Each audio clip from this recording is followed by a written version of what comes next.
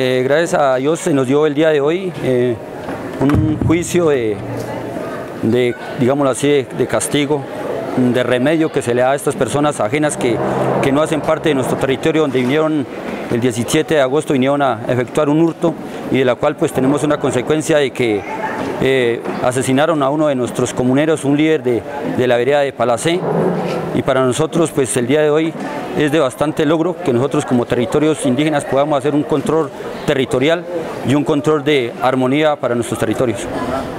Bueno, el, juicio que se da fundamentalmente es para generar la armonía que eh, quedó en, el, en el limbo o quedó en el aire y que para el mundo NASA es muy peligroso si esto no se le da el remedio.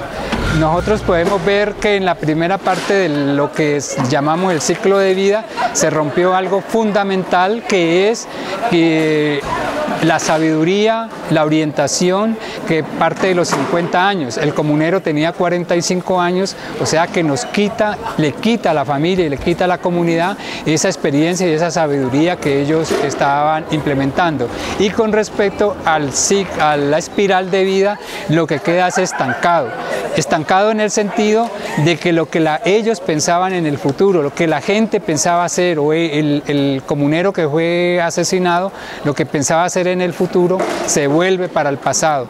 En ese sentido la espiral de la vida queda dando vueltas y que se generarían círculos y lo peligroso para el mundo NASA es que la espiral quede dando círculos. Primero que todo estamos haciendo el ejercicio de control territorial para que diferentes personas que sean ajenas a nuestros territorios pues miren las consecuencias que pueden pasar dentro de nuestros territorios, las desarmonías que están haciendo dentro de nuestras familias, dentro del territorio y gracias a, este ejercicio que estamos haciendo el día de hoy pues nos legitima más, lo legitima más para que nosotros sigamos nuestros procesos organizativos. Eh, el patrullero que ocasionó la muerte de nuestro comunero eh, va, se condenó a 40 años de, prisión en patio prestado en algunas de las cárceles de aquí de, Colombia.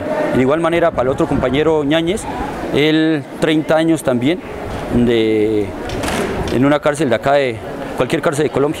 Nosotros como autoridades indígenas estamos en el ejercicio de poder hacer nuestra autonomía con sus usos y costumbres.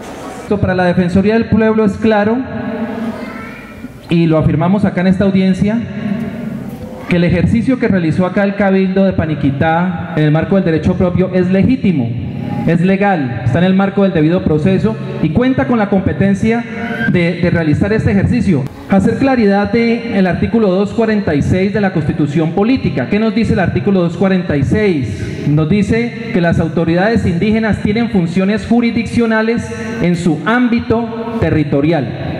Allí no nos habla de que esas funciones tengan que ver con una persona que sea o no sea de la, de la comunidad. La Constitución Política en su artículo 246 es claro al manifestar que en su ámbito territorial las autoridades indígenas son autoridades jurisdiccionales.